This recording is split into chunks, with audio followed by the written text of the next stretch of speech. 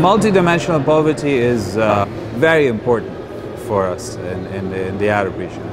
Um, mainly because, as you know, and uh, many people know, the Arab region is, uh, uh contains a variety of, of countries. Very rich countries like the Saudi Arabia and Qatar, and also very poor countries like Somalia, Mauritania, Sudan, Yemen.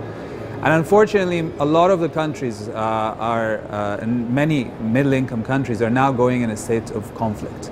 So you have two uh, groups of countries. You have middle income countries like Libya, uh, like Syria, like Iraq, uh, that even though they're from a money uh, metric poverty point of view, they used to not have a lot of poverty, but now uh, unfortunately, after the conflict, you're going to see a rise in multidimensional and money-metric poverty. And you also have the LDCs, where you had a, a very high rates of both money-metric and multidimensional. Multidimensional poverty is more uh, important for us because it really allows you to capture um, real deprivations, you know, and, and the deprivations of people that go beyond the uh, money-metric poverty.